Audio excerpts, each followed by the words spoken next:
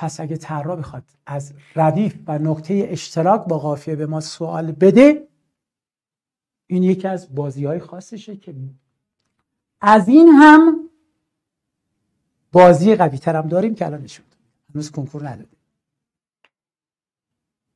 استاد میشه اینو بررسی کنیم به, جی... به جیم دال؟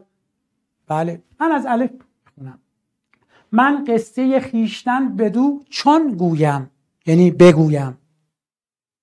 خب.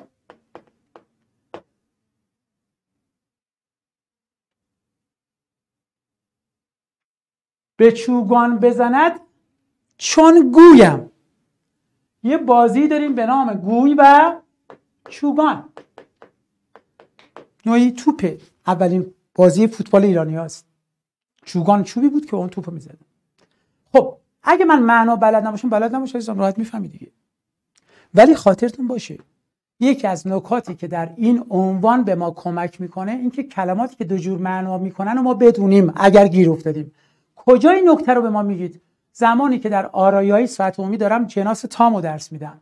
ایها و ایها متناسب درس میدم میگم کدوم کلمات به دو شکل می‌تونن معنا بشن ولی ما اصلا اینجا نیاز نبود معنا کنیم. به این دلیل قافیه است ردیف نیست.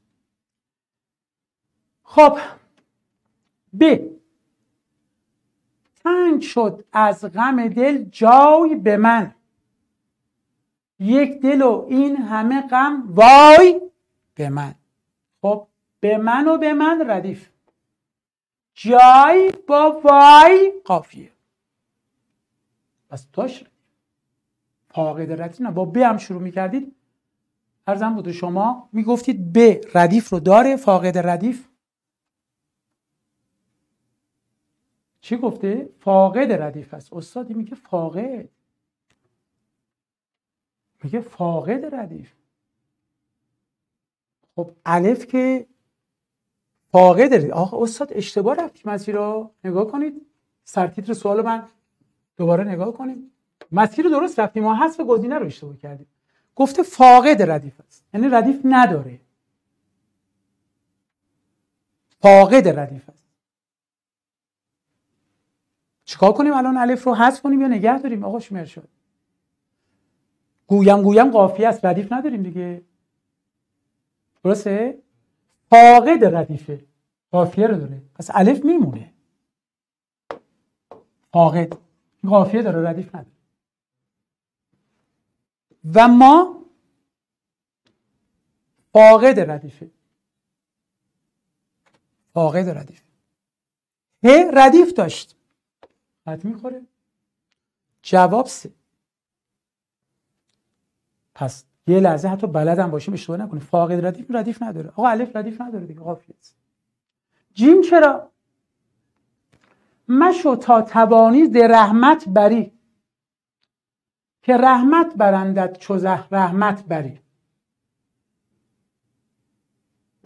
خب من اگر رحمت و بری رو ردیف بگیرم قبلش قافیه دارم؟ نه.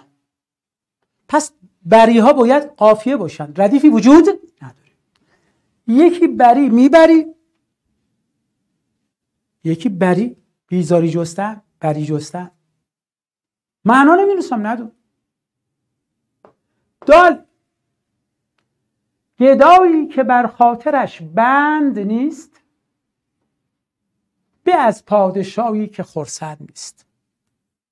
خب استاد اینجا هم طبق گفتار شما نیست و نیست ردیف؟ بند و خورسند قافیه. که ردیف داره طبق گفتار شما. آها. این همون چالشیه که من اینجا نوشتم. این همون چالشیه که من اینجا نوشتم. چیه؟ نگاه کنید. من اینجا این نکته نوشتم. نوشتم جوی روان بوی روان. تو میگی خب روان و روان که عین همه. روان و روان عین همه. ردیف جوی بوی قافیه. در حالی که روان با روان هم معناش اینجا فرق. جوی روان جوی رونده است. روح و روان روان معادل روح روح و روان نه رونده. معادل همون روح و روانه. یعنی این قافیه است. ها خب، بوی جوی هم قافیه است.